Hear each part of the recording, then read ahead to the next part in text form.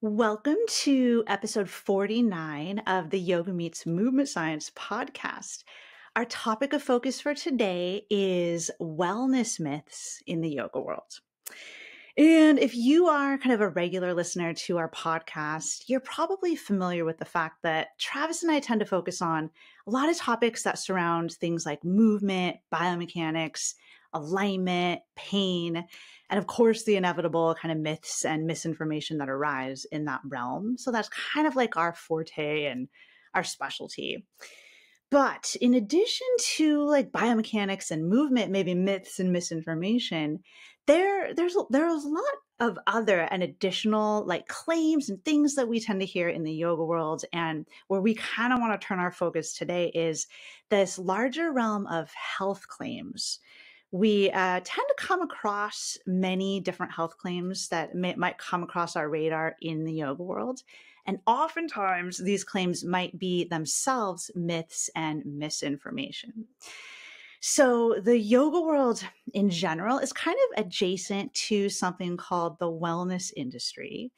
Uh, and there's definitely some overlap between the two. And we are going to define what the wellness industry is as we get into this episode today. But um, many yoga practitioners tend to already be just kind of familiar with the concept of the wellness industry, what that looks like, maybe some wellness influencers they may have come across like online or on social media. And also because there is some overlap between the two, uh, there are quite a few like yoga teacher and yoga influencers who also kind of do double time as wellness influencers. So I tend to see that quite a bit. So the word wellness, like as a concept, it might sound good on the surface. But the wellness industry itself is actually an industry that that is kind of full of quite a bit of misinformation and some myths and those are kind of what we wanted to focus on today. The um, wellness industry is a multi-billion dollar industry, so it's definitely like has a big presence out there, and it is distinct from conventional medicine. And we also kind of will talk about the difference between those two. So Travis and I wanted to focus on wellness myths today. Um, for a few reasons. First of all, just to kind of raise awareness of the prevalence of these myths. And then, as always, just with our podcast in general, we hope to help improve, like, just collectively our whole community's scientific thinking and critical thinking skills, scientific literacy in general, and overall, just helping all of us to better spot BS when we see it. So, with all of that said, in order to look at this big topic today, we have invited on two very special guests that we are super excited to have here with us. Today, we have Dr. Jessica Steier and Dr. Andrea Love. And the two of them are the co hosts and the founders, the co founders of something called the Unbiased Science Podcast.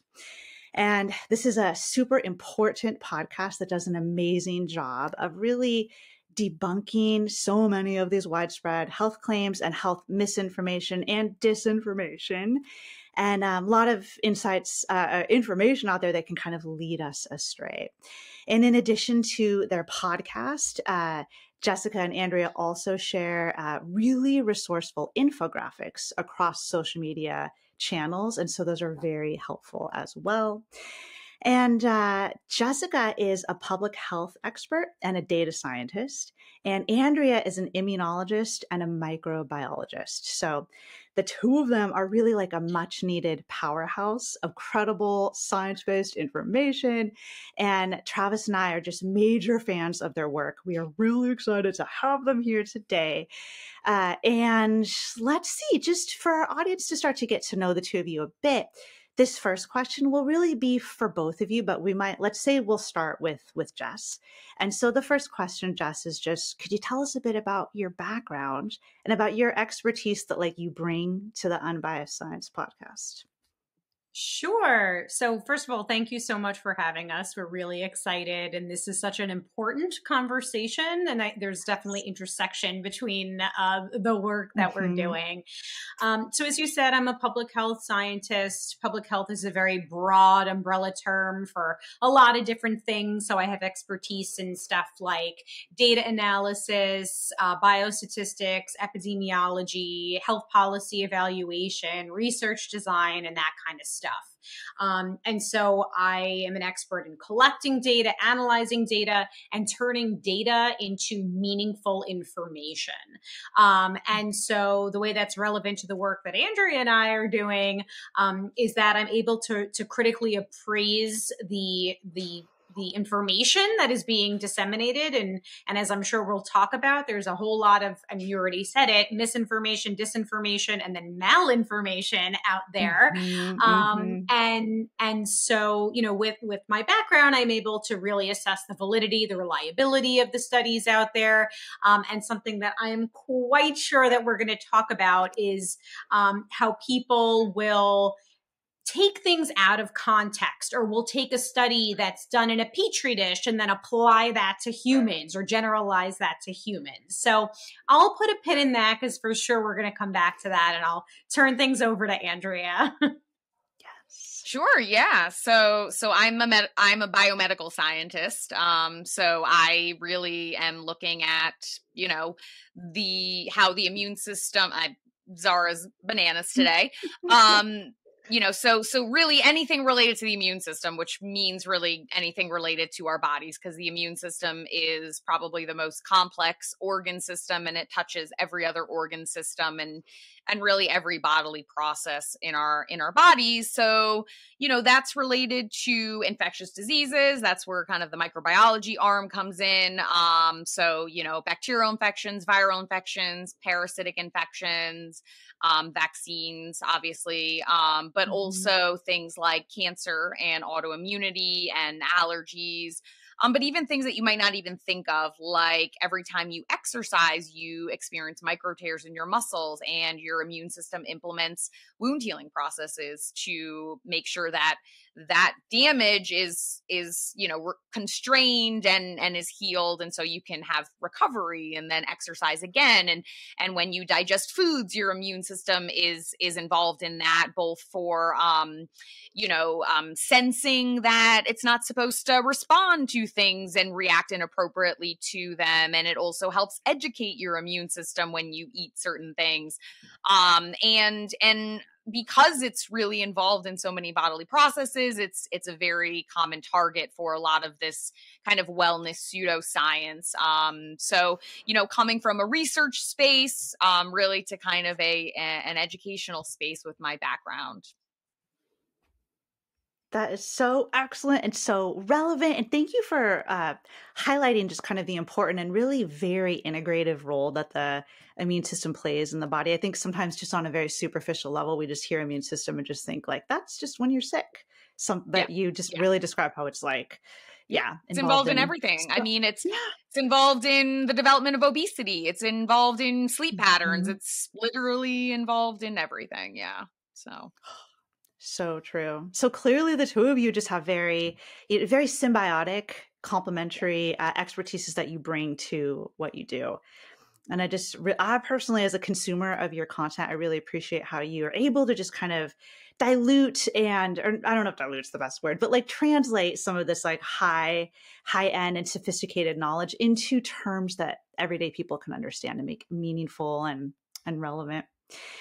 So now that we have a bit of an understanding of where you two have kind of come from and your backgrounds with your uh, with your work together, could you? And I know really either of you could answer this question, so just kind of whoever wants to like maybe jump in, but let us know just a bit about like why you decided to start the Unbiased Science podcast and your work with the infographics and like what was the motivation? So Andrea and I were we met at Stony Brook University as undergrads, um, and so we both obviously after we graduated we kept in touch. And as we've sort of explained, um, and as you beautifully summarized, we have these different but symbiotic, um, you know, mm-hmm. areas of expertise. So Andrea is this biomedical scientist, scientist really focused on the the processes in our bodies, right? Um, whereas I'm big picture population health, and so it's just it's very complementary. We also have different communication styles, personalities, perspectives, backgrounds. I, I always say, you know, I grew up in South Brooklyn. My dad didn't graduate high school. My mom was first generation American. Um, Andrea grew up in you always laugh when I say this, but the woods of rural Connecticut, um, you know, playing in the mud, getting Giardia.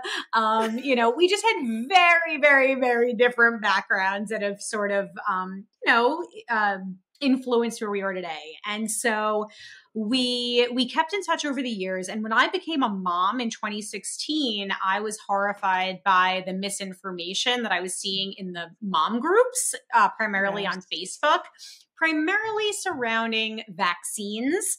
And so Andrea mm-hmm. and I and Andrea had been dealing with the, you know, similar, not, not in the mom groups, but on a professional level and in, in, in, her work as an immunologist dealing with misinformation. And so, you know, we always had this idea we should do something, right? Like we have something to say, we should do something, but life, work, family, everything happened until the pandemic hit. And mm-hmm. that's when we realized that no one knew, everyone was terrified. We were all trying to make sense of what was happening in the world, you know, science by headline, preprints being taken out of context and being splashed all over the media. And so our um, networks of friends and family were turning to us. And so we were like, all right, let's just hop. We realized we were both doing it. So let's do an Instagram live, a Facebook live. And the feedback was so overwhelmingly positive. It was, wow, you have something really special here. There's chemistry and your, um, you know, your different perspectives as scientists is really, you know, you're, you're providing a very comprehensive coverage of these topics. And so that's when unbiased science was born. You know, it was this, we felt this moral imperative to help people make sense of, of the world. And then things have really evolved. We're no longer just tackling COVID or COVID vaccines. We're tackling a variety of topics from the foods that we eat, you know, misinformation about GMOs and organic foods. And I mean, you name it. Lyme disease, which is uh, Andrea's expertise. She's the executive director of the American Lyme Disease Foundation. Just so much. There's so much out there that we that we want to address. And so the last thing I'll say, and then I'll shut up, is that we understand that people consume information in different ways. And so for some people, they like mm-hmm. listening to a podcast. For others, it's short video reels on Instagram. For others, it's long form posts. And for others, it's infographics. And sometimes we're playful. Sometimes we're snarky. Sometimes we have pop culture references. Sometimes we're more serious and didactic. And so we play with a lot of different messaging techniques and modalities to try to inform the public. It's so cool that you were like the podcast was born out of necessity almost. It's like not like we were any less busy during the pandemic. Just we mm. were like, there's never going to be a good time for this. Yeah, no, there's never a good time to start a podcast. But like you all pulled your resources, and then it, like you said, it turned out you had something really that really resonated with people. And oh, it turns out there's a lot more that you can say. I mean, still there's plenty to be said yeah. about vaccines, but like all of the stuff mm-hmm. that you mm-hmm. mentioned. Yeah, and I think like episode 4 was about GMOs cuz because that was one of my pet peeves since I was an mm. undergrad was just misinformation about genetic engineering and just, you know, fear of biotechnology. Um not just limited to food but but really, you know, to everything which really hampers our ability to to innovate. That's so well said. And I'm really glad you mentioned GMO. And I think Jess, you also mentioned uh, mentioned organics. I think in what you were just talking about, and th- those actually topics are kind of on our list as with some uh, topics we know you've covered in your. Com- and I don't. I see so much anti-GMO as they, as they laugh. Uh, so I know. Much. We're oh, laughing. Yeah. Just, it's, it's not funny. Yeah, no. it's funny, not funny. Yeah, exactly. Funny, yeah. frustrated funny or something. So we're, I think we are definitely going to ask you about those, maybe for a little more, you know, in depth um, comments on on those topics. Sure. But maybe as far as you know, kind of looking at the wellness industry today, we are thinking maybe we might start just like a little broader and then kind of get into some of these specific topics. So, a first question, once again, just throwing out to whoever might want to answer this, is hmm. how would you define the wellness industry? What what is the wellness industry? Yeah, so I mean, I maybe I'll I'll start and I'll let let Jess chime in, but I think you know the wellness industry is really any sort of consumer company that is purported to assist with kind of overall health and well-being. And mm-hmm. at face value that sounds really great. Um the problem is is that there is not a standardization of what that means. And so the word wellness or the logic or the term wellness has really been co opted by companies that are profiting off of selling consumer things that maybe don't really improve their health and well-being. Um, so things that you would see in the wellness space include obvious things like um, supplements, dietary supplements, which could include um, vitamins and minerals, but it can include pretty much any dietary supplement, protein supplements, you know, detox teas, what you know, all of those things um, that are that are non-medical interventions. Um, but it also includes things like beauty products and cosmetic products and a lot of these um, sort of uh, interventions purported to be related to improving longevity or hacking your health and and things mm-hmm. like that so it's a really broad catch-all and and ultimately makes a lot of money because um as as I'm sure we'll get into it's really there's really almost no regulation to what these companies can can say and can sell to people and Andrea just said it so beautifully. The, the only thing I, will say is I'll I'll define the wellness industry by telling you what what it isn't, which is mm-hmm. that it mm-hmm. isn't about wellness. Um, it is absolutely nothing to do about wellness. It is not at all improving our wellness. It's about fear mongering and making people think that they need to be doing things, buying certain products. Um, this idea that we can biohack our health. Um, it focuses on all the wrong things. Um, and uh, unfortunately, it's turned our society and our culture into one that is completely fearful um, and misguided and misinformed. Um, and really, the reality of what wellness actually is is quite simply being mindful of the things that we're consuming without obsessing over them moving our bodies um, getting vaccines to prevent uh, preventable illnesses and you know getting outside getting fresh air and, and managing our, our mental and emotional health as as best as possible. So that there's that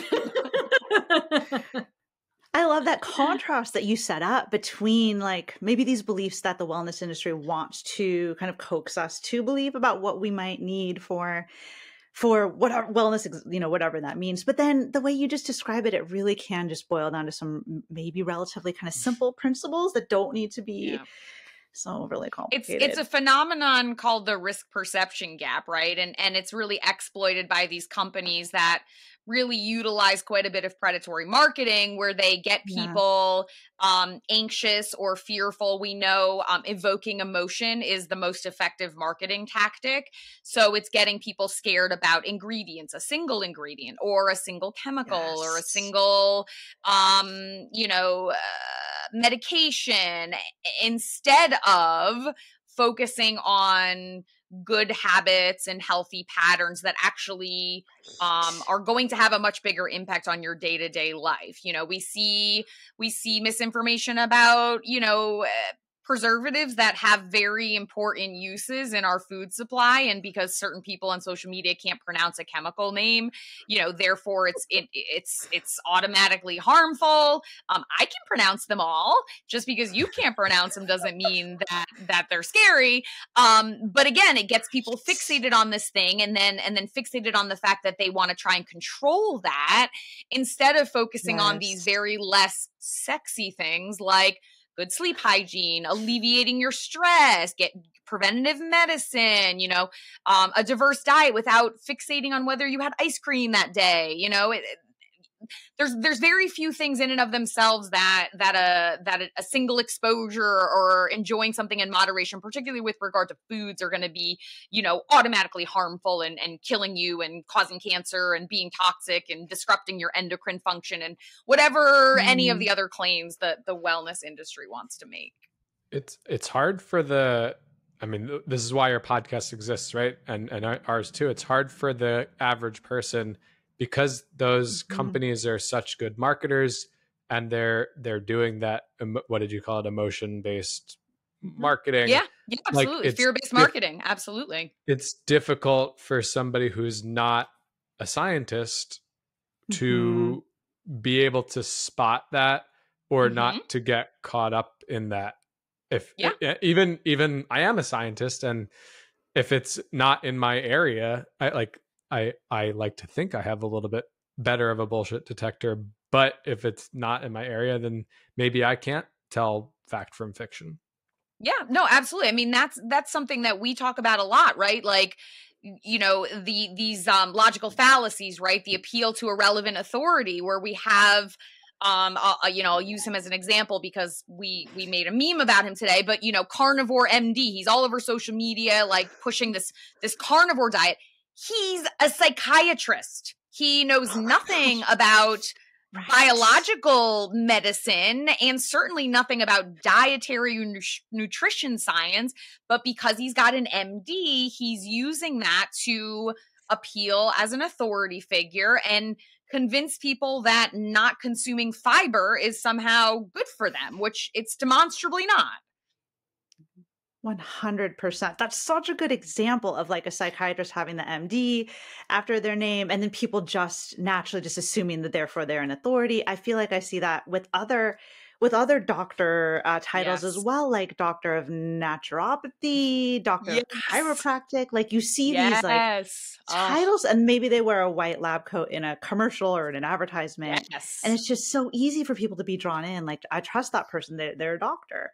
Totally, this, totally what and and then this other thing that we we talk about a lot is um confusing that well people thinking that medical doctors that there's this hierarchy and that we as you know we have doctorates but we're not medical doctors that there's a hierarchy and that medical doctors are are above us that is not mm. accurate these are clinicians who are yes. experts in clinical medicine but actually my, my husband's an ER doc and he's the first one to raise his hand and say, I didn't have any formal training in biostatistics or research design and method. You know, what did he have? Like uh, an hour lecture on epidemiology and, you know, in one of his medical school classes.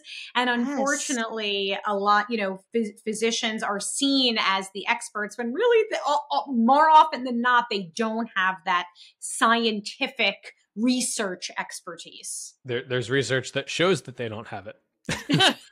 I mean, apart from them like objectively only getting one hour of biostats lecture or pain science, which is something that Jenni and I talk about.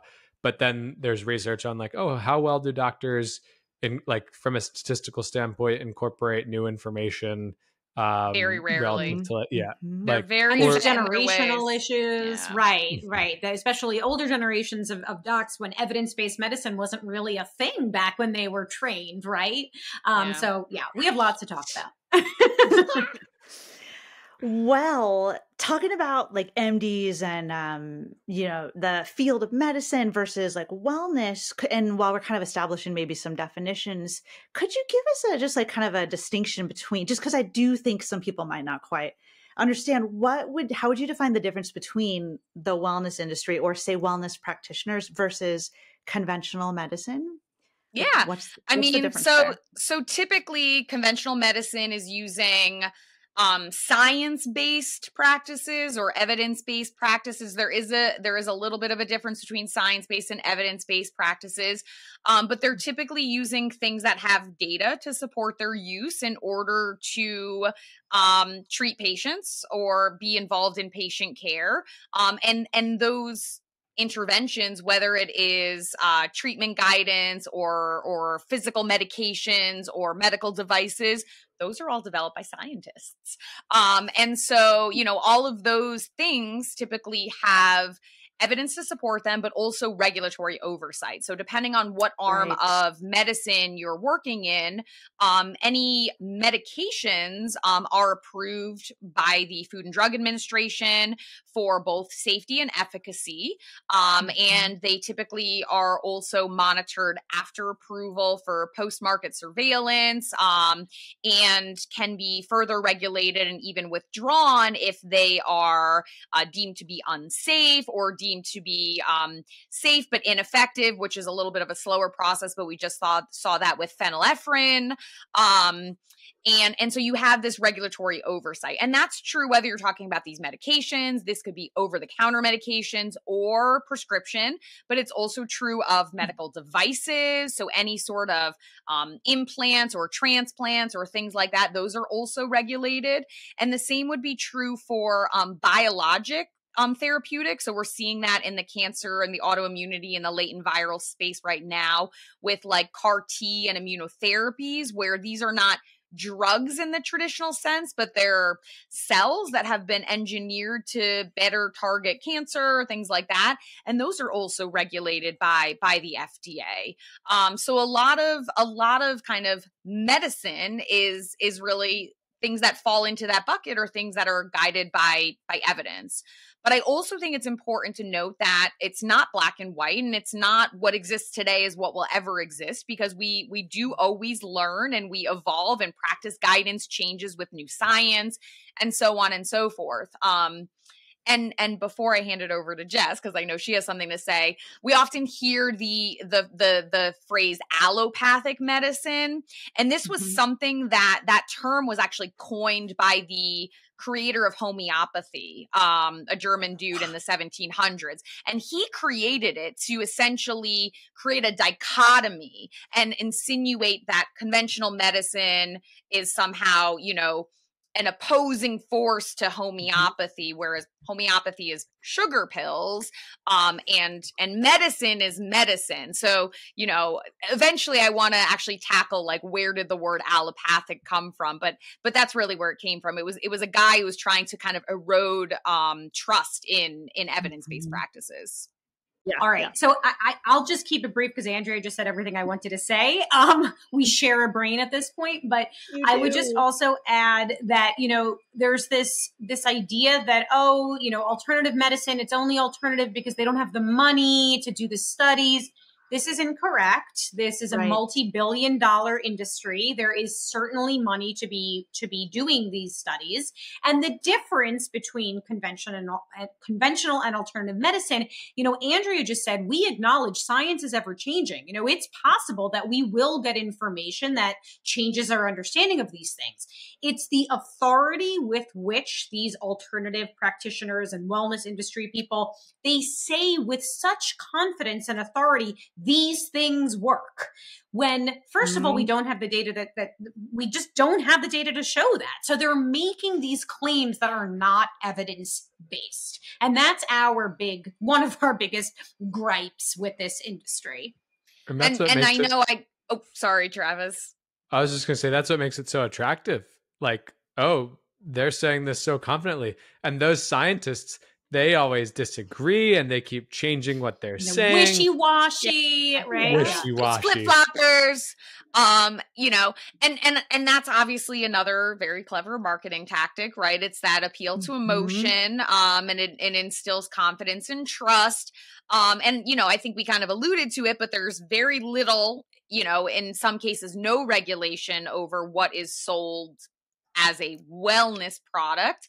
Um, even your your vitamins and minerals, which um, a lot of people when we talk about supplements, they're like, well, what about vitamins and minerals? And like, yeah, those are dietary supplements. It doesn't matter whether it's called flat tummy tea or mm-hmm. vitamin C. They're they're all regulated under the same umbrella and they're not regulated as medications. They are essentially um, you know, they fall under um you know food um, but not even as mm-hmm. stringently mm. as food so they they they have very little um, pre-shelf monitoring. They don't have to demonstrate efficacy.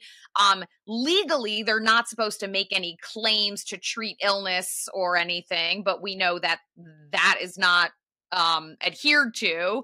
And while FDA has authority to remove things that are misbranded in the supplement world, um, they're overstretched in dealing with you know a lot of other things and so a lot of those supplements kind of fly under the radar um, because they they kind of exploit the priorities of regulatory agencies. Um, and, and you can thank the lack of regulation to a, a pretty antiquated law that came out uh, several decades ago, um, basically to, to um, exclude dietary supplements from having to fall under the umbrella of the FDA. That is so helpful to have you explain because yeah, that distinction between if um if these supplements are considered dietary versus like um, something that people take for health issues or for um, as medicine, then they just don't. They're not as tightly regulated at all. Yep. And correct me if I'm wrong. I feel like uh, a lot of these kind of wellness supplements that you see, like I'll see a commercial for say some mushroom tea that's like meant to boost boost brain health or something. And then if you look in the little corner with white lettering on white background that you can hardly see, it says like these statements have, have not, not, been, evaluated. evaluated. Yes. Exactly. Yeah, by the FDA. So it's like that. Like as long as they say that little thing, then they can say whatever they want Correct. almost, right? 100%. Exactly. So that's the loophole. Um, and we know people are not reading the fine print on those. Mm-hmm. And, you know, very often they're positioned next to legitimate medical interventions at the store um right. and and you know a lot of them kind of you know exploit this you know I want I want the answer. I want to feel better quickly. I want this magic pill. I you know and people are always kind of on this quest for more with less because you know I get it, right? It's it's mm-hmm. um there's a lot of pressures in our society, particularly in the US, but but it's not limited to the US. And so um you know they'll make these outlandish claims and and also they're not legally required to disclose every single ingredient and that's something that has potential real harms associated with it um not not just you know for the obvious but because they a lot of these things herbs and and whatnot can have legitimate medical interaction interactions yes. with real medications and can mm-hmm. cause serious um, side effects and even things that we know are good for you like things that are essential micronutrients like vitamin d and vitamin c and iron there is such thing as too much of a good thing you can experience toxicity with anything at a certain dose. And so there's often this logic where it's like, well, well, I need some of this for mm-hmm. optimal health. Therefore, I should just take more of it and that will be even better. And that's not the case either. That makes so much sense. And uh, in addition to uh, to that being misleading and potentially leading people down um, the wrong path, uh, is it also the case that sometimes what the supplement says, uh, like what the bottle says is inside, if we're talking supplements, uh, when it's actually tested, like via oversight, it's the ingredients that it says are in there are not even in there? Because yes. there's like so little Correct. regulation. And also, sometimes the ingredients they say are supposed to be in there, your immune bo- immune boosters and all that, they're not in there. And there are things that they don't say are in there that are in there. Um, and so, yeah, incredibly misleading, right. false advertising. And again, because there's very little regulatory oversight, um, you've got these labs, you know, and and let's be real, like, right, there's this appeal to nature fallacy. I'm going to take these supplements because they're natural these things that are in a pill are being made in a lab. Um, so they're not natural.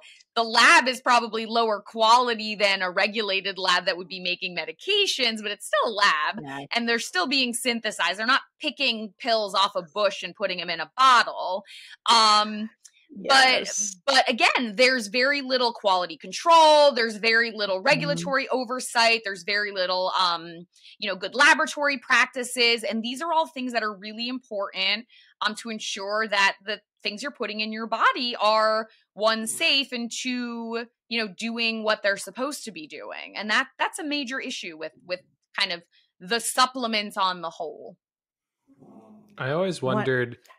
Because there there are athletes who you know they take these supplements and then it it turns out that there are banned substances and they didn't realize it and like, is that ever really true, or did they know that they were taking the banned substances? Oh my goodness, and- that is that's a million dollar question. And I remember, I can't remember the runners. I mean, not you know, I should remember her name because I I do run, but um, you know, the one who claimed that she got the testosterone um agonist or the um um analog from eating a pork burrito that had offal in. I can't remember what her name, but she had like a 10 year ban from track and field um someone knows who i'm someone listening knows exactly what i'm yeah. talking about but she claimed that she got it from eating you know uh inadvertently eating you know um uh bull test um not not bull test uh, pork testicles but but the level of this meat that she would have had to consume to get the levels in that drug test were you know she it would have been like five two kilogram burrito you know it was insane oh my um, God. So, so Travis, to answer your question, I don't know the answer to that, but my suspicion would be that if there were trace contaminants of a banned substance, um, they would have to be consuming a lot of that dietary supplement inadvertently. What's more likely the case is they probably know they're taking what they're taking and then they're trying to use it as an excuse once they get called out by WADA or something. Right. Yeah. For the athletes that I don't like, you know, I assume they're lying, but for the ones that I do, I want to give them the benefit of the doubt. you want to believe them. Travis. Um, oh my goodness. I have a question about like the lack of regulation that it seems exists within the US with regard to a lot of these supplements and the wellness industry in general. Do you know, and uh, I'm not sure like you know, how much you've looked into, this, but how does like this lack of regulation here in the US, which is where we're all based, how does it compare to other countries? Is it particularly bad here? Um, or uh, do other countries seem to have similar issues? It's definitely a universal phenomenon. I would say the market is the biggest mm-hmm. in the US. Um, there are different regulations country by country with regard to we'll, we'll, use supplements as part of kind of the wellness umbrella but there's a lot of other things that fall under that bucket like these at home fake diagnostic tests and ozone up your butt and all that but but if we're talking about kind of supplements there are certain countries that while they still don't have efficacy data they may have some additional um, safety requirements so you might mm-hmm. find that supplements may vary country by country um, but it's but it's still very loose and there's still a lot of these um, ineffective and potentially harmful things that um that you can find available in in many countries in many mm-hmm. european countries even and and asian countries you can actually um you know certain types of alternative um practices i don't want to call it alternative medicine because there's no evidence to support it but things like homeopathy um like like there's like the homeopathic pharmacy on the corner when I was in Germany and and um wow. you know you can actually some of those are even covered by insurance. I think countries are now kind of cracking down on that a little bit more. For example, I think France removed um, insurance payment for homeopathy, and I think UK is working on it. Although King Charles is a big proponent of homeopathy because you know anecdotes. Um, but oh, no. but again, like I there's different issues in different countries and a lot of it is kind of how they assess risk and who their regulatory agencies are um, but kind of the natural product world is is still this nebulous entity in many places so i i mean i i'm not entirely sure how these other countries approach this um, but just mm-hmm. sort of what andrea was just saying i think it's important to note that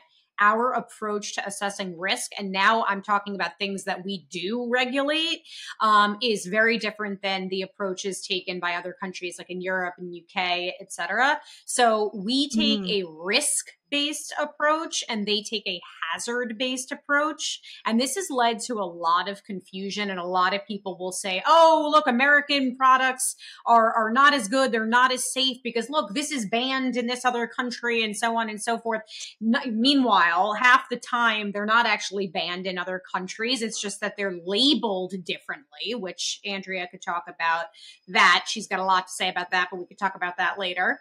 Um, but just, you know, in general, general, we, we take a different approach where the US will, we take into account likelihood of exposure to things, whereas mm-hmm. other countries do not. So if there's even the potential for risk, that's called the hazard based approach. This is what other countries take.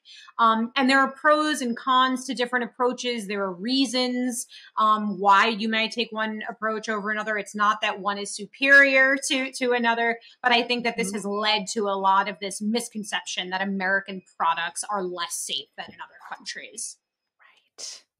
Yeah, I certainly hear claims like that. Like, um, and, and I've seen you guys, I think you talked about this in a recent podcast episode of yours that I heard about. It was very yes. informative just to realize the standards may be different between countries. It's like maybe comparing apples to oranges when you're trying to make this claim that, well, in this country, this, this, um, substance is banned or whatever. Right. Like, and yeah, and actually more. in many instances they're not actually banned. They just have a different regulatory agency so that they're named differently, but people right people sometimes right. struggle with fact checks absolutely it's a nice way of putting it so another question that we wanted to ask you just kind of in relation to everything that we've been talking about is a topic i've seen you cover in some of your recent content which is health coach uh, and like a wellness coach i feel like those are kind of two different names for the same thing but we mm-hmm. at least in the yoga world i find that that that's very common like a lot of people see health coaches or they offer their health coaching services. Could you just tell us a bit like what is a health coach? How is that different from a doctor? A, medical yes, doctor? Yes. So health coaches and wellness coaches, um, they typically I'll I'll kind of start with, you know, what they what they advertise to be, but they typically are offering services to help with health concerns or health problems or um, you know, often they'll they'll um offer support for chronic conditions. Um, you know, some of them advertise nutritional support or stress, you know, or or they're going to give you accountability and and have you stick to an exercise regimen. Um, I think it's really important for everyone to know that there is no standardization, no credentialization, no qualifications required to call yourself a health coach or a wellness coach. Yes.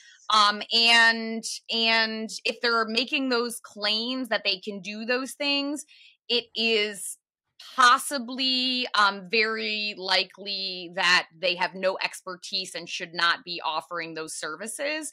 And a lot of people will just mm-hmm. pay to play. They'll buy a certificate from some online, I don't know, company that sells certificates um, and it means nothing and this is very common for like running coaches too it's like people who just ran their first 5k are now all of a sudden a running coach and i'm like okay um you know so so there again there's no standardization there's no credentialization so there could be a very qualified person who calls himself a health coach and there could be someone mm-hmm. who has absolutely no grounds to be speaking on anything they're talking about calling themselves a health coach um, so it's it's it's really really um, a slippery slope and it's very distinct from anyone that has credentials or or scientific practice degree and that would include like registered dietitians um, and i think that that that kind of realm is also important because then you have the nutritionists where nutritionist is a term that has no meaning either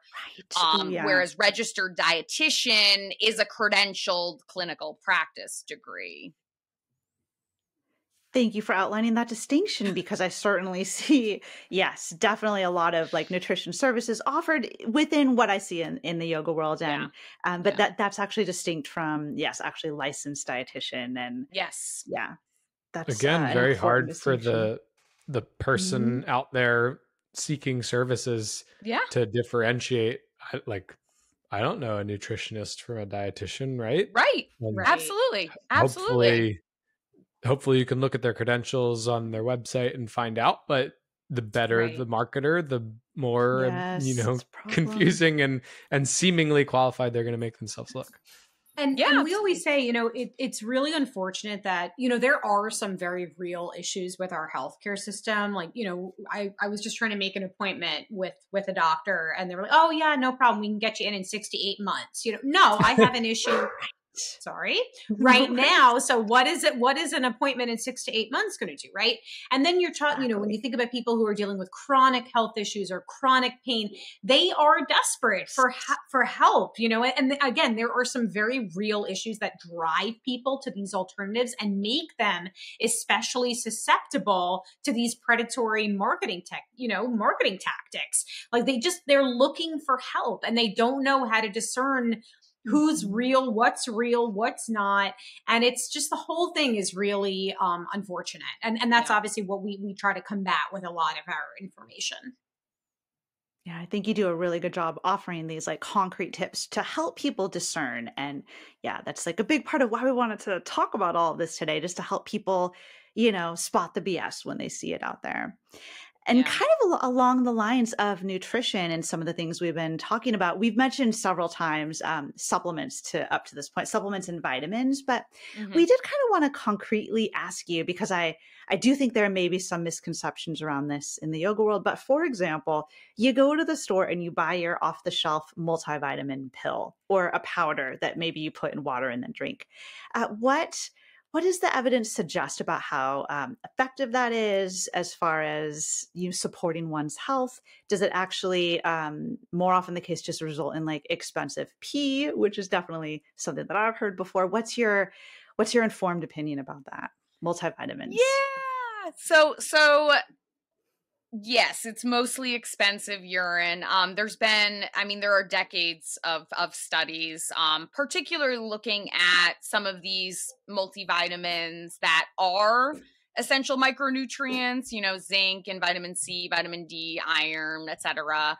Um, we know broadly that a lot of people are not eating a diverse diet, but in reality, these things are best absorbed um, at the levels you would need you don't need a lot of it. You need a tiny little bit of it. Um, but they're best absorbed or best obtained through food because of the way that the chemical structure and the what we call bioavailability is. Um, and the bioavailability is a fancy term for you know actually being able to be used by by your body by the cells that that need those micronutrients. Um, again, because there's very little regulatory oversight in formulation and compounding and things like that with supplements, you know, you could could buy an iron supplement and it could be, you know, ferric sulfide in one and ferrous sulfate in another. And they're all kind of slightly different formulations of iron. Um, or you could buy two that you think are, you know, both ferrous sulfate, but you know, one is compounded in a way that it's more bioavailable than the other. And so you could think that you're buying equivalent things and taking equivalent doses, but in reality, you're not actually using any of it. It's all just going through your GI tract. So even with substances that we know we need, um, there's not a lot of data to support that taking them in like a multivitamin form is really helpful. Um, and and and U.S. Preventative Task Force actually came out with a with a big um, report earlier this year that also stated that um, taking these sorts of vitamins, um, you know, multivitamins and so on, um, don't offer any sort of preventive health benefits for things like cardiovascular disease and similar. Um, and so, in reality, if you're you're a healthy individual, um, again, it's expensive urine. You don't need it. It's best to get them from your your diet. Um, there are of course ex- exceptions. For example during pregnancy there are certain things that are mm-hmm. absolutely recommended. Those should be overseen by a physician, a medical provider, um, a, a, true medical provider, not a naturopath or a chiropractor. Um, and and if you have very specific medical conditions, there are certain medical conditions where you're unable to metabolize things properly. You might need supplementation, but those would be very specific examples. Um, or if you had specific deficiencies, again, those should be all overseen by a trained clinician. I'm gonna let Jess Wonderful. jump in because I know she has something to say. No, I was literally the the the last thing that you just said is that really unless you are, you know, trying to get pregnant or are pregnant or you have a diagnosed deficiency, more often than not these things are unnecessary. Um, and then I I'm sorry, Andrea, my, my kids came in, so I don't know if you if we were talking about it, but this idea of in addition to supplements, but then the IV um, oh, vitamin therapy oh, yes. that people are doing. Someone just died. Yeah a, a, woman just died. I forget exactly. I'm not sure if it was because uh, it was that. um it was contaminated with a solvent, right? Okay, yeah, is that what I it think was? So yeah, yeah. It's so crazy I, that unregulated and yeah, yeah, getting well, an IV you know, like yeah. And the other thing is, is, is typically these vitamins, especially like name brands and things like that, they're they're kind of expensive, right? So, mm-hmm. you know, instead of spending your money, which is really wasting your money on those, you know, buy some produce and mm-hmm. eat that because those are chock full of those micronutrients and they're going to be absorbed by your body um you know in a more effective manner and they then taste way better cook instead of take a pill. You can just like walk around with your bunch of kale chomping on it, drizzle some olive oil on it while you're walking around. Oh, I guess oils are no, well, olive oil is not a seed oil, but oh, um, right, so that one's that one's okay. That one's okay.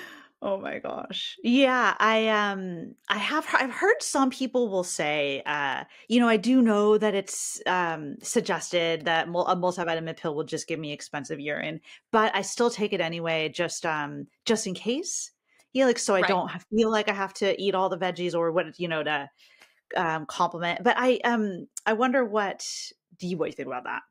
Taking yeah, I mean there's case, like there's again if you there are a lot of acute toxicity um, reactions, uh, acute liver poisoning, and so on due to overuse of supplements, and and those can be even what you perceive as benign, even these multivitamins and things like that, there are some very unpleasant side effects from overdosing on things like vitamin C and iron and, you know, Zinc. beyond just, yeah, beyond yeah. just like GI symptoms, mm-hmm. like, again you only need teeny tiny amounts of it um there's there's no robust evidence to say like a taking it just in case is is beneficial um nice. and i and i know it's really confusing because there are a lot of physicians who still recommend it to your patients. Oh, just take a multivitamin, it's all good, right. you know. And this is kind of this um this relic of you know conflation of clinical provider with scientists and also especially those that have kind of not stayed up to date on new data um where you know every day there there is more and more evidence to suggest that it's really not beneficial and in many instances can be harmful and it also is quite privileged you know to to be able to say oh let, let me just in case like pay $50 for this multivitamin pill when there are people who clearly you know yeah. won't have access to that or means to afford things like that and this has very real implications it leads to a lot of shame a lot of guilt switching gears something that i know we're, we're going to talk about but the the myths and misconceptions surrounding organic versus conventional mm-hmm. um, we just using that. This example how we know organic costs a lot more and no it's not superior nutritionally no it's not better for the environment or any of these things and we could dig into all that um, mm-hmm. um, but we there was a survey done among uh, registered dietitians and like i think it was something like 94% said that they saw that um, people lower socio people of lower uh, socioeconomic status were actually avoiding eating fruits and vegetables because they couldn't afford organics and they were scared of the conventional alternatives. And that is horrific. Obviously, I don't need to tell mm-hmm. anyone who's who's here right now, you know, for a mm-hmm. variety of reasons, people are not getting access to fruits and vegetables and fiber and all the things that we need. So it's a it's a really big problem. That is absolutely a problem and definitely plays into, um, yeah, socioeconomic status and class and um, just making people worry and stress about things that actually could be completely counterproductive in the way that you're describing. Thank you for pointing that out. Mm-hmm. And I'm mm-hmm. just glad you brought up organic. I know you um, have put out a good amount of content on both this and GMOs, which was another question that we wanted to ask you about. But we just know how widespread uh, organic, uh, the, the you know, oh just gosh. that the marketing term it's on like every other uh, yeah. product at the yeah. grocery store always costs more like you explained um, but yeah. it sounds like you're suggesting organic is not necessarily healthier or better for the environment yeah, that's 100% true. And and um Jess, I actually pulled up the data. So so there's two different two different kind of data sets. One was a survey from registered dietitians and it was basically um, messaging about organic led to excessive concern about the safety of conventional produce mm-hmm. but there was a, mm-hmm. a, a quantitative um, study that actually demonstrated that that this led to reduced fruit and vegetable consumption particularly wow. for lower lower income individuals. And of course, we know not eating enough fiber, Americans are not doing that to begin with and there's a lot yes. of health issues associated with that, not just gastrointestinal but cardiovascular issues, cholesterol, type 2 diabetes and so on. Um, but yeah, so the big TLDR is that they are functionally equivalent in nutrition and healthfulness and um, organic produce costs uh, what is it? The average is about 15% more to grow but on average costs at least 50% more to the consumer. And a lot of that is through because of clever marketing and branding. Um, and and again we're talking about us um, organic agriculture regulation. So this is USDA because we always get the, well, I buy from the farmer's market and it's my little backyard garden and we don't use any pesticides. That's not what organic means at the grocery store. Organic agriculture is large scale agriculture using USDA organic regulations, and that includes pesticides. So, organic produce still uses pesticides. They just use those that are certified to be inclusive of organic, meaning they're they're naturally derived from chemicals that things in nature are producing to ward off pests. Um, mm-hmm. Many of them are quite noxious and can be higher in toxicity at lower doses many of those organic pesticides are worse for the environment or for the ecology because since they're produced by plants to deter things from eating them, they can impact all sorts of insects, including non target species. Like if you wanted to kill aphids, some organic pesticides also kill ladybird beetles, which would naturally eat aphids. So now you're killing aphids, but also their natural predator. Um, many of them bioaccumulate. And again, we hear a lot, well, it already is in nature, so it's fine. Well, just because something is in one level in nature doesn't mean you quadruple that level and it's still okay. You're adding more. The dose mm-hmm. makes the poison with everything. So things like copper sulfate bioaccumulate and they actually have very far reaching effects, including on fish um, and waterways. And that's a very commonly used um, uh, organic pesticide. So, one of the advantages for conventional pesticides is a lot of them are kind of derived from natural pesticides, organic pesticides, but they're tweaked in the lab chemically so that they're more specific. They only target particular pest, um, you know, particular plant pests or insect pests. Um, they can be used at lower dosages or they biodegrade more quickly. So it's basically about altering some of those chemical structures to reduce some of those ecological impacts. Um, and then more broadly, when you look at yield of organic farming versus conventional farming, because organic farming prohibits the use of genetic engineered crops, you often have lower yields per hectare of mm. land or, or similar compared to a conventional product of the same plant variety, where they might be able to use a genetically engineered variant that maybe has increased yield, produces larger fruits. Um, and so, as the population of the world grows and we have less arable land, um, you're producing less yield per area, which means you need more area, which means you're um, deforesting more land potentially. You're having more greenhouse gas emissions.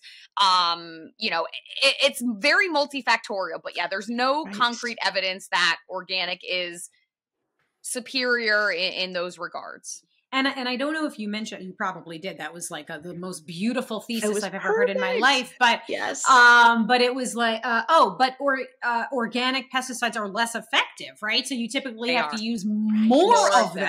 them. Yeah. And I I don't know. There's this idea that like pesticide bad. Like there's a reason yes. we use pesticides. If we didn't use pesticides, we wouldn't have the crop yield that we have, right? And we'd have right. fewer fruits and vegetables and less produce and all the things. So people people need to be mindful of that. So just well, to want to, yep. Oh no, go ahead. I was going to say, I just want to repeat for the hundredth time because I don't think th- this is something that whenever we say it, people are shocked. Organic produce still uses pesticides, right? And that's right. bad. Like we'll say it's not necessarily a, that's not a bad thing, right? We we use pesticides for a reason. Buy what you want to buy. If if mm-hmm. it makes you feel better to buy organic, or if you go to the store and it looks better, go ahead and buy organic. But if you can't afford organic or you don't want to buy, like there there shouldn't be guilt. Andrea and I, mm-hmm. we never buy organic unless we get to the store and things, the, the produce just looks better than the conventional alternatives. Like, yep. why would I want to pay more money for something that's not better?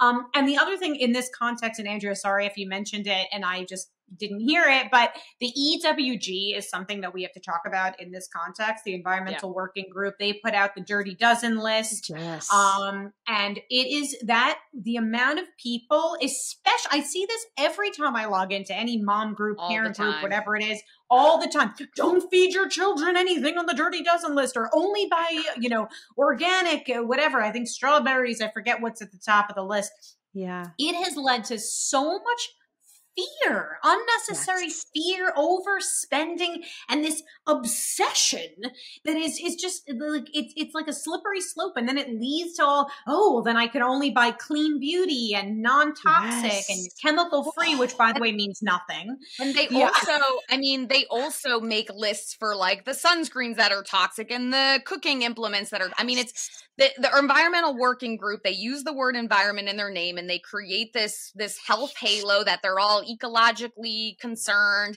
And they're an activist group that is funded predominantly by large organic farms um, like stony brook and uh, is it Stony Brook? Stony Valley? I don't know what it's called. You know, the one with the oh, yeah, yeah. Stony Stony Field. Stony Field, yes. Um, those those types of organizations, um, they they're not evidence based. They exaggerate toxicological li- um, risks of conventional produce and scare people from eating produce, um, and they don't include organic pesticides when they review what's dirty. They only include synthetic pesticides and the reason for that is because conventional pesticides are regulated for safety and residue levels when organic pesticides don't have the same amount of stringent regulation. So farmers that are using organic pesticides can apply them more liberally and there's much less oversight over what's safe to use. They don't have the same toxicological um, evaluations that conventional pesticides do. So huge realizations. Yeah, mic drop, mic drop from the two of you. I mean, the other thing is, is like we just have to get away from like this this fear of chemicals, right? As just said, like yes. there's nothing inherently wrong with pesticides. Pesticides yes. target specific species. They don't target humans, right? They're targeting weeds or they're targeting insects or they're targeting a fungus. We are not weeds. We're not plant cells. We're not fungal cells. We're not arthropods, right? So, wow. you know, and then when by the time the food gets to us, whether it's conventionally grown or organically grown, they're processed, right? Produce right. is processed. You know, everything is processed that we eat. And there's nothing inherently wrong with processing, but part of that processing means washing those things because beyond just pesticides, things that grow in the ground are grown with poop. And poop has bacteria in it and viruses and fungus. And we have to make sure that we're not eating poop when we eat. I, I wanted to use a different expletive, but I I wanted to keep it clean. but my point is is that you're not you're not pulling a potato out of the ground and chomping on it. First it's being washed and sanitized so it's not covered in feces. And also you're not eating a potato raw cuz that would give you major GI upset. But but again, like these pesticides, it's not first of all, you're not dousing things in them. They're, you're applying them right. in, in, pretty right. small small quantities to begin with, and by the time it gets to you, there's trace levels of it, if any. And we need to again this risk perception gap. We need to just eat produce. I don't even, mm-hmm. I shouldn't say this, but I rarely wash my produce if it's like fresh berries because I'm usually too impatient and I'm eating them in the car on the way home from the store. Like, just got my blueberry tin in my lap and I'm just eating my blueberries. Um, and and again, I am not concerned with the very very tiny, minute trace potential residues of pesticides, which um, especially the conventional ones, are are demonstrably safe at the levels we would be exposed to. Right. They're present, the residue, it's like the most minute concentration of pesticides are if they're present on our produce. And then simply washing with under uh, running cold water, um, I think it removes, it's like a night over 90% of, or even higher. I forget what the actual percentage is, Andrea. I know we did a post on this and I can't remember, um, of pesticide residue mm-hmm. or any of the other stuff that Andrea is mentioning. So, yeah. Absolutely. Such great points. Like like what does it come down to? The dosage, right? Like it's um, yes. um and with Dose like that list of the poison. Right. So at like the tiny, tiny levels we're exposed to some of these things. It's been well established and, and tested that it's safe and it's fine and we don't need to right. worry about these things right and and you know re- related to the dirty dozen they're mm-hmm. they're basically trying to push people to buy organic versions of those those 12 produce items right. on their list they don't mention the levels of organic pesticides on the organic options of those but the way that they rank them is it doesn't matter what the actual level of a pesticide was. If it's detected whether it's 10,000 fold level lower than the threshold they're going to say it's dirty because they found 3 of them on there even if you would have to eat I don't know, a ton of strawberries to even hit the the threshold for safety. Um, and so it's completely taken out of context and it's and it's used to create fear. And the mm-hmm. end result, and this is why we get so heated about it, the end result is it's causing harm to people, particularly those of lower income who who already have higher risks of poor health outcomes and mm-hmm. now they're simply just not eating produce because they've been scared by this. Which is so disappointing and counterproductive and bad for their health. It's like the opposite yes, outcome. It's the anti wellness. The anti wellness. Yes. Oh, the ironies, right? The ironies. Well, thank you so much for speaking so eloquently to that. Uh, you did such a great job, uh, really kind of laying that out. And I know you also have put out other content. So if if listeners are you know want more information, uh, I would definitely recommend uh, send you to Jess and Andrea's podcast and some of their other content about this to dive dive further. But yeah, yes, the organic. We, yeah, we have a lot. We have several hours on organic and dozens of posts on that topic.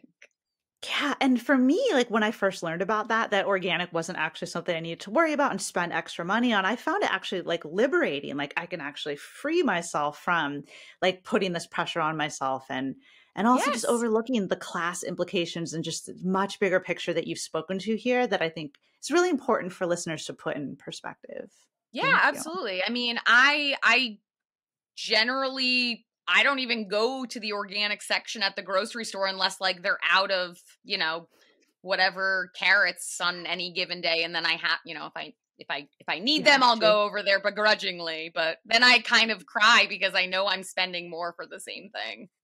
Totally. Yeah, same here. Uh, can we shift gears just a bit? Um, since you know this is the yoga meets movement science podcast, and so and I had like a question that we wanted to put to you that's a little more specifically yoga. This is all like within the yoga world, like this is all like yoga culture. I would say in the West, we see so many of these tendencies we've gone over today. But one kind of more specific, actually yoga movement based question I have for you. And I'd say this is really, really to both of you, but in my mind, I'm kind of thinking Andrea because of your specific background. But it's just a, a claim that we tend to see a lot in the yoga world. A health claim is that is that yoga as a practice, and again, we're talking asana, like modern postural yoga, that it mm-hmm. boosts boosts the immune system. That yoga boosts the immune system, and yes. I wonder if you could give your give your thoughts on a on a claim like that. Yeah, sure. So there's this trend just in wellness and and even on some academic you know sites where they use the phrase boost your immune system i think it's really important to kind of set the stage where you can't boost your immune system right it's not a muscle you're not flexing it you can't amplify it it's it's this very complex network of organs and cell types and chemicals that the cells produce and different cell types in different proportions and they're all communicating and moving around your body and doing all sorts of jobs at the same time. So, you know, when you hear these claims about boosting the immune system, it's like, well, what part of the immune system what cell types what chemicals right. what are they doing? So you know i mm-hmm. like to reframe it as you want your immune system to be functioning right? You want it to be optimal. You don't want it to be suppressed and you don't want it to be boosted because if you really could boost your immune system that wouldn't necessarily be a good thing and that is what we kind of see in a colloquial way in, in things like allergies and autoimmune disorders where your immune system is responding to things that it shouldn't be responding to. So you want it to be balanced you want it to be functioning. So when we talk about kind of the things that ensure that your immune system is functioning it's all about giving your body the tools that it needs to regulate itself because your body's pretty good at doing that. Um, yes, there are medical conditions where it's not, but broadly speaking, I think people, especially in wellness, don't give our body and our tight regulated homeostatic mechanisms enough credit.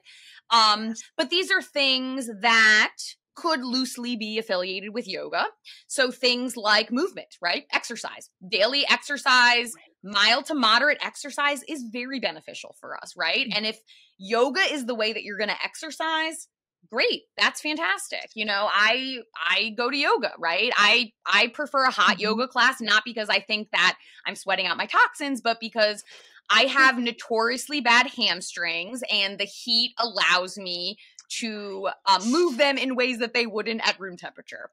Um, so, movement, exercise, great. That's good for immune system function. The next thing would be oftentimes you're doing a breath practice at the end, maybe a little few minutes of meditation you're maybe in a dark room maybe your yoga teacher comes and massages your temple or puts a cold cloth over your head and maybe it's got some some uh, eucalyptus something and it's very relaxing right? It's quiet. You're in a dark room you're just chilling you're just breathing.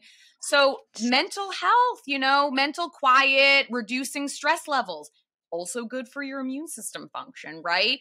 Um, we know that if you do those sorts of things, you might have better sleep quality too. And sleep is super important for your immune system as well.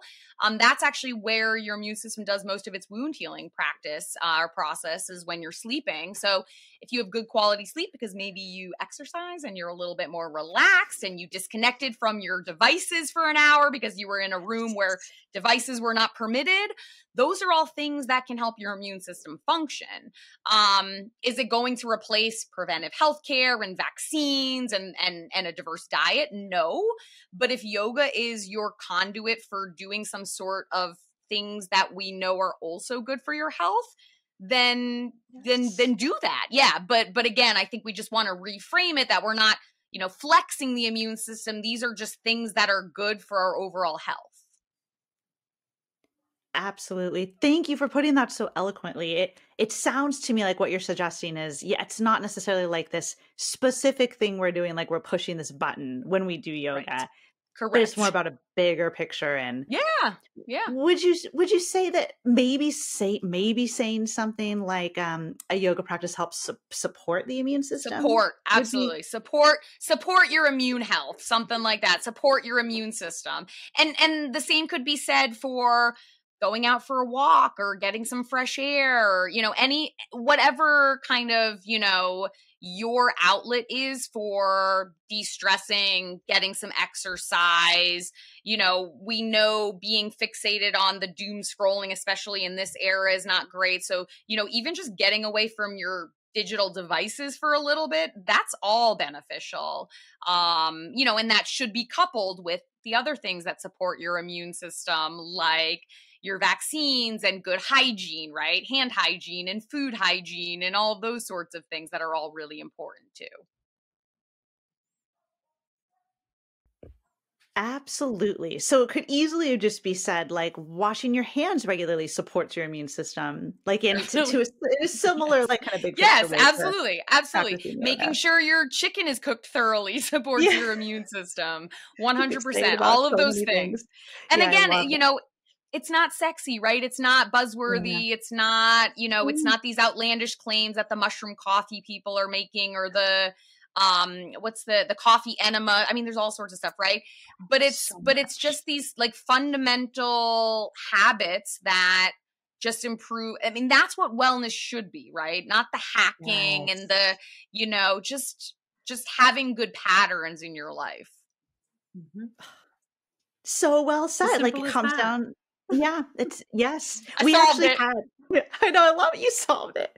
That was one of our questions for you. Is just yeah, like um, you know, in contrast to all these claims about all these hyper specific things we need to be doing, like what would be some of your suggestions? And you actually just answered the question I didn't even ask. It's like perfect.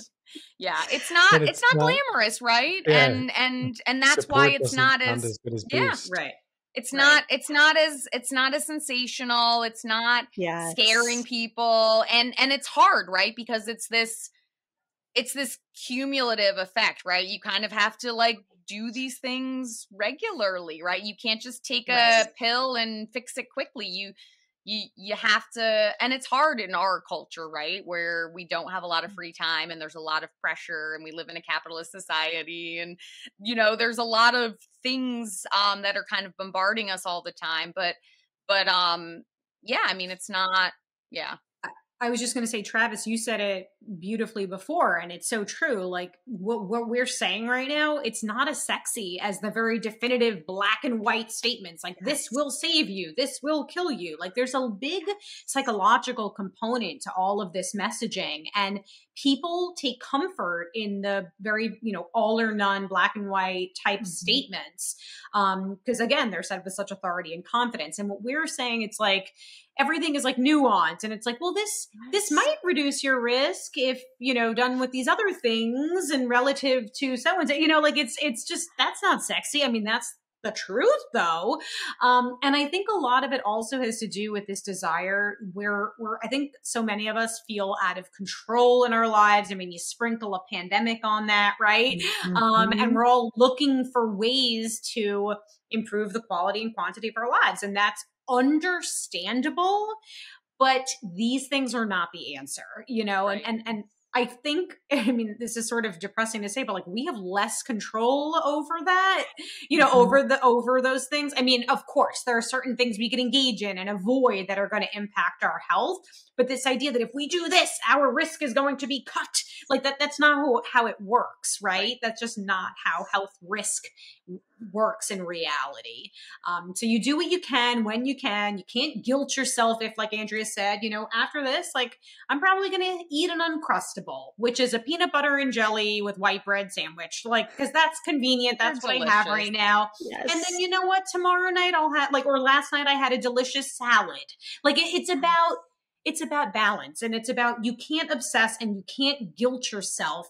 And what we do, like Andrea, I think you said this before, there are very few things that if we engage in them every once in a blue moon that they're going to have a profound positive or negative impact on our health right? It, it's all about the patterns. Yep yep Yes, establishing like healthy habits in like these big picture, like less sexy ways, like Travis said. It just seems, yeah, it's just that's harder to sell. That's not as marketable. It's not so much harder to sell. Yeah, but it's and there like, not yeah. there isn't a single company that can go sell that to you and make billions of dollars. So so that's right. the the challenge of being evidence based in in a world where that kind of marketing is so much more seductive, right? So yeah. like having a podcast where you talk about science, it's like nobody wants to listen to a science podcast, right? Yeah. Uh, well, and the nobody, thing is, is nobody the, wants that... to listen to. Oh, this might, this may or may not do this. here's the nuance. Here's the, here's yes. the, you know, here's the pros, cons, or the the for. But we need more data. yeah. Right, and they're like, oh, those those evidence based folks, they never know the answer. Right wishy-washy. I was called wishy-washy kind of yeah. Yes. someone like your content has gotten so wishy-washy but i actually took that as a really big compliment because that's yeah where does a badge more... of honor. Yeah thank you. Um i i personally feel like you two have answered really like all of these big questions that we wanted to ask you. You've done a fantastic job of it too. Uh travis was there any other like final question that you maybe wanted to throw out or do you think we kind of covered what we uh, I, today. I would be interested in hearing Jess and Andrea's perspective on like how to determine, especially on social media, like oh, yes. who's a reliable and credible source. Um, and just how unbiased to, science. right, right, yeah. 100%. Can, there are two good podcasts that you can listen to. You can Oh, listen of to course, this one. You can listen to Unbiased Science Podcast, and that is Oh it. my That's it. That's, That's it. it. That's I it. mean, You're done. but- That's fine. That makes it that- easy. Actually, that that's perfect. there you go. Okay, that- cut that it. Cut it. We're done. No.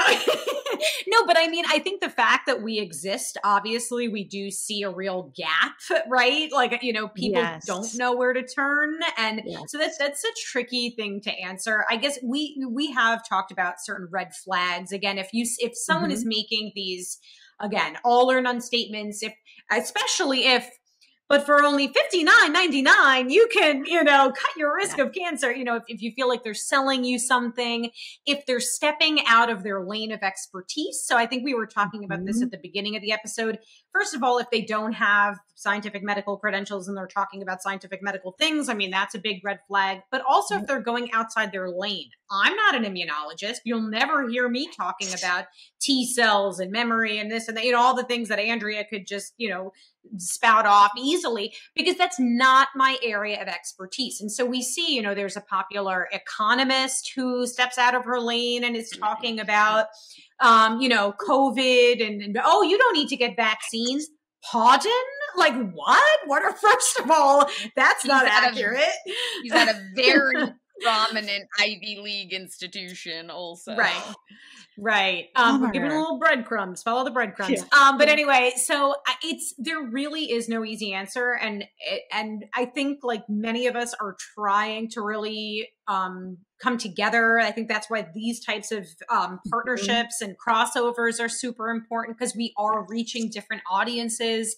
Um, but I think we're all still figuring it out. Just sort of if it feels like like you know like something does it doesn't pass the sniff test, it probably is not legit. Well, and I, I think, I think, um, a couple of other kind of obvious things would be if you have an immediate emotional reaction to something, that is often a clue that it is either false or mischaracterized. And so there's this, you know, you kind of want to take a quick pause, um, because these types of pseudoscience and fear-based marketing, they're either trying to evoke fear or anxiety about something um, so if you have a very like strong reaction to something, like take a breath, think, does this make sense to me? Does this is this logical? Um, you know, look for confirmatory, you know, source, um, ideally a credible one.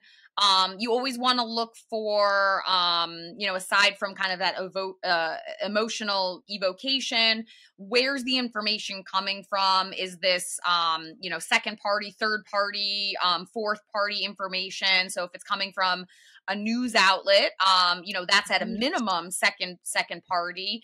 But where are they getting their information from, and who are they using as a source? Um, you know, and it can be hard again to tell who's a credible source if they have an MD after their name. Um, but again, you want to look for, you know, do they have any relevant expertise.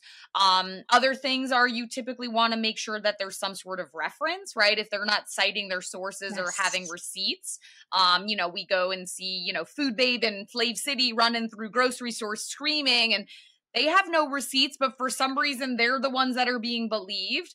Um, and then the other thing would be, um, you know if they're if they're using an anecdote or a singular study to support something and they're Mhm. ignoring kind of all the other studies that say the exact opposite Right. um or you know or- scientific consensus. That's Yeah. so, sorry, Which- Andrea, I didn't mean to cut you off, but that's a big thing. I mean, and I think a lot of times these people are lauded as like, oh, whistleblowers, and they're just being suppressed by big pharma or the Yeah.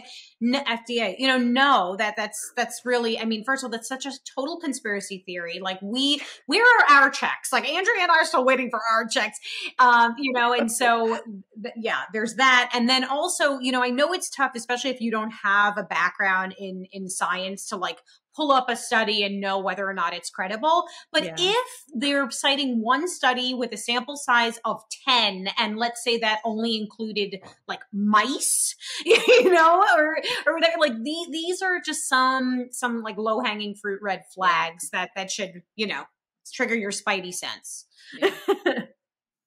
Those are very helpful and very concrete tips. Thank you so much for, yeah, come in. That's yeah. that's um just way to like empower an audience, you know, like yeah. really helping all of us kind of hone and and you know i mean travis you're absolutely right like especially like the more insidious stuff it's really hard right you sometimes really got to dig in i mean even with like the red dye number three like every news outlet's like oh it's banned in europe and it's it's not it just uses a different name but if you didn't know that you know european regulations of food dyes have a different nomenclature you have no way of knowing that right unless you're in the field um, and so it can be very convincing. And then, of course, it's evoking emotion. I mean, you've got multiple layers, and a lot of times, um, the pseudoscience starts with like a nugget of reality, or they use a scientific jargon, um, like mm-hmm. inflammation is now the diagnosis of the day. Oh, yeah. Everything's inflammation, um, yeah. and and microbiome. Yeah, I mean those have those have real meanings, but they're co-opted yeah. and and exploited and and exaggerated and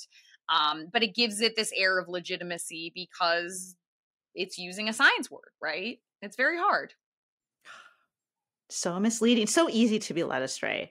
Yeah. Which is why we're super lucky to have resources like what you put out and super just like solid evidence-based credible scientific information and Yes, uh, that's it's great to have resources like that. So people, like you said from the start, use listen to the Unbiased Science podcast. Like tune into resources where people are really trying to, you know, bring together this information and present it in in uh, understandable terms, but that are actually evidence based to help um, so you two, we are going to put links to all of your offerings in the show notes for this episode.